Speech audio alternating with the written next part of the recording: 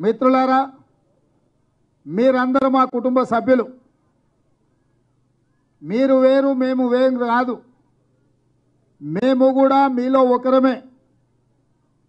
కానీ కాంగ్రెస్ పార్టీ శ్రీమతి సోనియా గాంధీ గారు నాకు పెద్దలు జీవన్ రెడ్డి గారికి గతంలో పాల్వాయి గోవర్ధన్ రెడ్డి గారికి ఈనాడు పాల్వాయి స్రవంతికి అవకాశం ఇచ్చిండ్రు కాబట్టి ఇవాళ మేము ఈ వేదిక మీద నుంచి నిలబడి మాట్లాడగలుగుతున్నాం. ఇది కాంగ్రెస్ పార్టీ మాకు ఇచ్చిన ఒక గౌరవం. అదేవిధంగా రెండు వేల తొమ్మిది వరకు వ్యాపారం చేసుకుంటున్న రాజగోపాల్ రెడ్డికి పార్లమెంట్ టికెట్ ఇచ్చి గెలిపించిండ్రు. పద్నాలుగులో ఓడిపోతే ఎమ్మెల్సీ టికెట్ ఇచ్చి మళ్ళీ గెలిపించిండ్రు. ఎమ్మెల్సీ పదవి ఉండగానే ఆడబిడ్డకి ఇవ్వాల్సిన టికెట్ను ఆడబిడ్డకి ఇవ్వకుండా ఆనాడు ఉన్న పరిస్థితుల్లో రాజగోపాల్ రెడ్డికి టికెట్ ఇస్తే ఇక్కడుండే కార్యకర్తలందరూ కష్టపడి ఇరవై రెండు వేల మెజార్టీతోని ఈ మునుగోడు నియోజకవర్గంలో కాంగ్రెస్ పార్టీని గెలిపించింది. మరి ఇవాళ ఆలోచన చేయండి. కాంగ్రెస్ పార్టీ ఆయనకి ఏమైనా నష్టం చేసిందా? ఇవాళ టికెట్ ఆశించిన చల్మెల కృష్ణారెడ్డి అక్కడ ఉన్నాడు. ఈ జిల్లా చాలా కాలం నుంచి అధిరథ మహారథులు కోమటిరెడ్డి వెంకటరెడ్డి గారు జానారెడ్డి గారు ఉత్తమ్ కుమార్ రెడ్డి గారు ఉన్నారు. జిల్లా పార్టీ అధ్యక్షుడిగా శంకర్ నాయక్ గారు వాళ్ళందరినీ సమన్వయం చేసుకొని ఇవాళ కాంగ్రెస్ పార్టీని నడిపిస్తున్నాడు. వేదిక మీద పల్లె రవికుమార్ గారు కా- కైలాస్ నేత వీళ్ళందరూ కూడా ఆశించిన అనుకోని పరిస్థితుల్లో టికెట్ ఇవ్వకపోయినా ఈరోజు వాళ్ళు కాంగ్రెస్ పార్టీ గౌరవం కాపాడడానికి వాళ్ళందరూ కూడా ఈరోజు కాంగ్రెస్ పార్టీని గెలిపించడానికి వాళ్ళ శాయశక్తుల ప్రయత్నం చేస్తారు మరి నేను అడుగుతున్నా టికెట్ రాకపోయినా టికెట్ ఇవ్వకపోయినా మనసులో బాధ ఉన్నా దుఃఖం వచ్చినా దిగమింగుకొని ఇవాళ కాంగ్రెస్ పార్టీని గెలిపించడానికి వీళ్ళందరూ మీరందరూ వేలాది మందికి ఇక్కడ హాజరైన మరి రాజగోపాల్ రెడ్డి గారికి ఏమన్యాయం జరిగింది? కాంగ్రెస్ పార్టీ ఏమన్యాయం చేసింది? పెద్దలు జీవన్ రెడ్డి గారు అడిగినట్టుగా. నీకు ఎంపీ టికెట్ ఇచ్చుడు మేము చేసిన తప్ప నిన్ను ఎమ్మెల్సీని చేసుడు కాంగ్రెస్ పార్టీ తప్ప నిన్ను ఎమ్మెల్యేగా ఎన్నుకొనుడు రెండు ఇరవై రెండు వేల మెజారిటీ ఇచ్చుడు కాంగ్రెస్ పార్టీ కార్యకర్తలు చేసిన తప్ప ఇవాళ శత్రువు మనల్ని చంపనికి వస్తున్నట్టు మనం అర్థం చేసుకుంటాం. అక్కడి నుంచి మోడీ వచ్చినా ఇక్కడి నుంచి కేడీ వచ్చినా వాడు మన దుష్మన్ మనల్ని చంపడానికి వచ్చిండంటే మనం అంతో ఎట్లా కొట్లాడాలనో మనకు తెలుసు. కానీ ఇవాళ సొంతపోడు మనం పెంచి పోషించినోడు.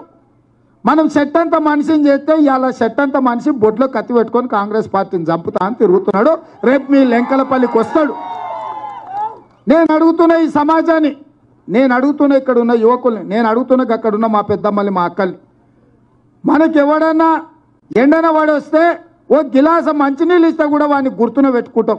అరే ఎండకు వస్తే నేను మంచినీళ్ళు ఇచ్చిరా? కుటుంబం చల్లగా ఉండాలి. ఎవరైనా ఇంత బుక్కెడు పువ్వు పెడితే సచ్చంత వరకు గుర్తు పెట్టుకుంటాం. అరే మనం ఆకలి మీద వస్తే బుక్కెడు బో పెట్టిరా బలానోళ్ళు అని ఏడగలిచినా చెప్పుకుంటాం. అట్లాంటిది నేను ఎంపీని చేసి ఎమ్మెల్సీని చేసి ఎమ్మెల్యేని చేసి ఇరవై రెండు వేల మెజార్టీతో గెలిపిస్తే ఇవాళ దుష్మంతో దోస్తీ చేసి ఇరవై రెండు వేల ఓట్ల మెజారిటీని ఇరవై రెండు వేల కోట్ల రూపాయల కాంట్రాక్ట్ అమ్ముకొని ఇవాళ కాంగ్రెస్ పార్టీని సంపానికి వచ్చిన అంటే ఊరు గొడ్డుపోయిందా అని నేను అడుగుతున్నా. ఊర్లో అప్పుడప్పుడు బలహీనుని. గా మొన్న మహబూబ్నగర్లో అంగల వికల అంగవైకల్యం ఉన్న ఉపాధి హామీ కూలి చేసిన ఆయన నా కూలి పైసలు ఏమంటే ఆ సర్పంచ్ కాలుతోంది అనిండు. ఊరంతా కలిసి ఆ సర్పంచ్ దాన్ని చెట్టుకు కట్టేసిరు మరి ఇవాళ కూడా నేను అడుగుతున్నా రాజగోపాల్ రెడ్డి ఇంత దుర్మార్గంగా ఆయనను పెంచి పోషించిన పార్టీని సంపనికి వస్తే లెంకలపల్లి కొత్త గిడ యాప చెట్టు గట్టేస్తారా లేదా అని మా యువకులను అడుగుతున్నా నేను. ఇక ఇదే కాదు ఈ ఊర్లో నాకు తెలిసి ఓ ఎంపీటీసీ కూడా. అమ్ముడుపోయిన సన్నాసులు ఉన్నాయిడా? ఉన్నారు కదా ఈ ఊర్లో కూడా? ఈ ఊర్లో అమ్ముడుపోయిన సన్నాసులు ఇద్దరు ఉన్నట్టుండు మా రవి చెప్తున్నాడు సార్. ఆయన సన్నాసుల పేర్లు ఎంపీటీసీ సర్పంచ్ అని. ఇట్లాంటి సన్నాసులను కొనుక్కుంటే ఊరంతా అమ్ముడుపోయినట్టేనా? ఊర్లో గౌరవం కోసం ఇజ్జత్ కోసం బతికేటోళ్ళు లేరనుకుంటురా వాళ్ళు? కాబట్టి ఇవాళ ఆలోచన చేసి ఇట్లాంటి దుర్మార్గులను ఒకవేళ గెలవనిస్తే సమాజంలో ఇంకా మంచి బతకదు. సమాజంలో ఎవడు మళ్ళీ సాయం చేసేటోడు దొరకడు. ఇవాళ సమాజం కోసం కాంగ్రెస్ పార్టీని గెలిపించాల్సిన అక్కరున్నది. ఇక టీఆర్ఎస్ గురించి ఇక ఎంత చెప్పినా తక్కువే. అమ్మకు అన్నం పెట్టనోడు అంటే చిన్నమ్మకు బంగారు గాజులు చేపిస్తా అని చెప్పిండు ఆయన కట్టుకోవడం ఆ వల్ల రెండు వేల పద్నాలుగు నాడు కేసీఆర్ వచ్చి చెప్పిండు ఇన్నే కుర్చీ వేసుకొని కూర్చొని డిండి ప్రాజెక్టు పూర్తి చేస్తా అన్నాడు. అదేవిధంగా కే- శివన్నగూడెం ప్రాజెక్ట్ అట్లనే ఉంది. కిస్తాయన్పల్లి ప్రాజెక్ట్ అట్లనే ఉన్నది. ఇలా పాలమూరు ఎత్తిపోతల పథకం ఎక్కడేసిన గొంగడి అక్కడనే ఉంది. మునుగోడులో జూనియర్ కాలేజ్ ఇస్తా అన్నాడు ఇంతవరకు అతి లేదు గతి లేదు.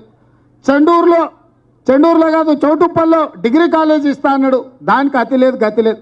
చౌటుప్పల్లో మినీ ట్యాంక్ బండ్ ఇస్తా అన్నాడు దానికి గతి లేదు. రాచకొండ ప్రాంతంలో కాంగ్రెస్ అధికారం ఉన్నప్పుడు మా లంబాడ సోదరులకు వేలాది ఎకరాల భూల పట్టాలు ఇస్తే ఇవాళ ధరణి పేరు మీద దగా చేసి ఆ వేల ఎకరాల భూములకు పట్టాలు ఇవ్వకుండా ఆ భూములు గుంజుకొని ఇవి ప్రభుత్వ భూములు నేను అమ్ముకుంటా అని అంటున్నాడు. ఇవాళ ఏం వెలుగబెట్టిండని చంద్రశేఖరరావు ఈ మునుగోడు నియోజకవర్గ ప్రజల్ని ఓట్లు అడుగుతారు? రెండు వేల పద్నాలుగులో కూసుకుంట్లోనో పాస్వాన్లోనో గెలిపించారు కదనే మీరే? ఏం చేసిండే? లెంకలపల్లి బస్ స్టాండ్లో ఇగో అక్కడ బురద ఉంది.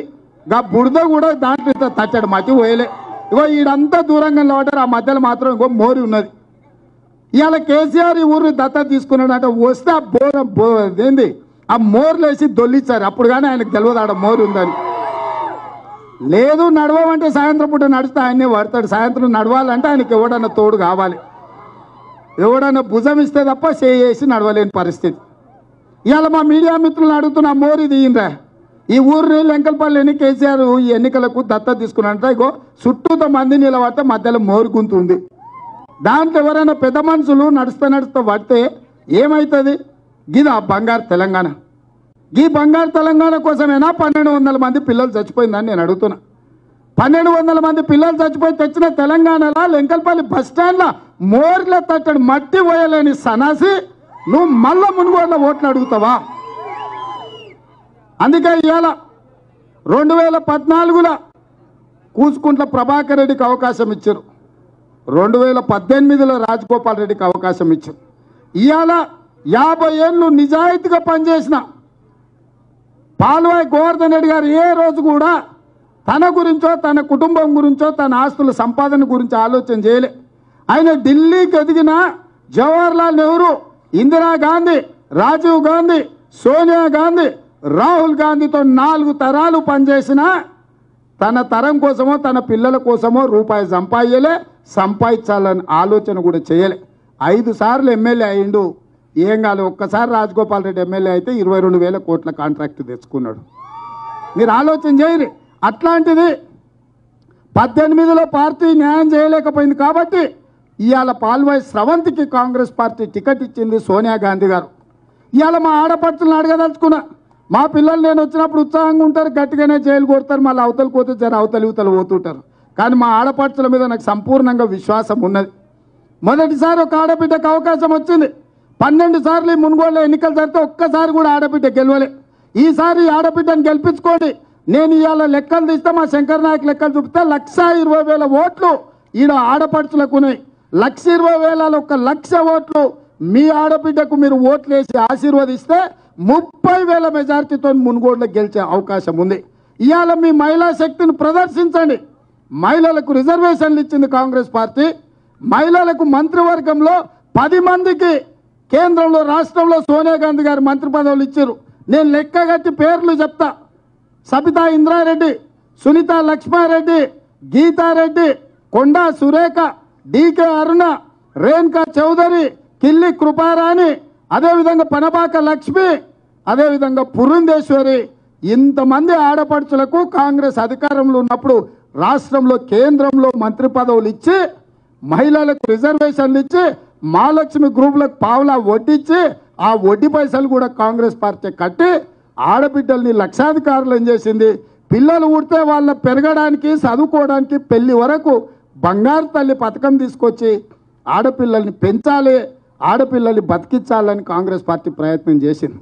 ఇవాళ మరి మునుగోడు నియోజకవర్గంలో పెద్దలు జీవన్ రెడ్డి గారు కూడా విజ్ఞప్తి చేస్తున్నా యాభై ఐదు శాతం మహిళలు ఉన్న ఈ నియోజకవర్గంలో మా మగ సోదరులు ఉన్నది నలభై ఐదు శాతమే. వాళ్ళు అనుకుంటే ఎవరు అడ్డం వచ్చినా కేసీఆర్ ఈ మోర్ల వండుకొని దొడ్లినా నరేంద్ర మోడీ ఆకాశంలోకి వెళ్ళి దుంకి సచ్చినా మా ఆడపడుచులు అనుకుంటే మునుగోడులో పాల్పోయి స్రవంతి ఖచ్చితంగా ముప్పై వేల ఓట్ల మెజార్టీతో గెలుస్తుంది. ఈ ఆడబిడ్డకు ఒక్క ఛాన్స్ ఇవ్వండి. రెండు వేల పద్నాలుగులో ప్రభాకర్ రెడ్డిని గెలిపించిండ్రు. రెండు వేల పద్దెనిమిదిలో రాజగోపాల్ రెడ్డిని గెలిపించిండ్రు. ఒక్కసారి ఆడబిడ్డకు అవకాశం ఇవ్వండి ఆడపిల్లకు అవకాశం వస్తే తన శక్తి నిరూపించుకుంటుంది. కుటుంబ పెత్తనం కుటుంబ బాధ్యత ఆడతల్లి చేతిలో ఉంటే ఎట్లా సంసారం బాగుపడుతుందో ఇవాళ ఈ నియోజకవర్గంలో కూడా ఆడబిడ్డ గెలిస్తే మీ సమస్యల మీద మాట్లాడుతుంది మీ సమస్యల మీద కొట్లాడుతుంది. ఎవరు ఎక్కడ పోయినా సరే ఆడబిడ్డను ఆశీర్వదించండి. మిమ్మల్ని ఏం అడుగుతలేదు? మనులు అడగలే మాణిక్యాలు అడగలే ఆస్తులు అడగలే అంతస్తులు అడగలే. ఎంతో మందికి ఎన్నోసార్లు ఓటేసారు ఒక్కసారి ఒక్క ఆడబిడ్డకు ఓటేయండి. ఆడబిడ్డకు ఓటేస్తే చైతన్యం వస్తుంది. ఇవాళ నేను ఇక్కడికి వచ్చిన స్కూలు ఆడపిల్లలకు చదువుకునే వాళ్ళకు మీ ఇంట్లో అమ్మ నాయనను నాయనమ్మను తాతను అమ్మమ్మను తాతను ఆడబిడ్డకు ఓటేపించండి మీదే బాధ్యత. మీలో ఒకరిగా ఉండే మీ సోదరికి ఇలా ఎమ్మెల్యే గెలిచే అవకాశం వచ్చింది. నరేంద్ర మోడీ చంద్రశేఖర్ రావు గారికి గుణపాఠం చెప్పడానికి అవకాశం ఉంది కాబట్టి మిత్రులారా మీరందరూ కూడా పాల్వై స్రవంతిని గెలిపించాల్సిందిగా మీకు అందరికీ విజ్ఞప్తి చేస్తున్నా.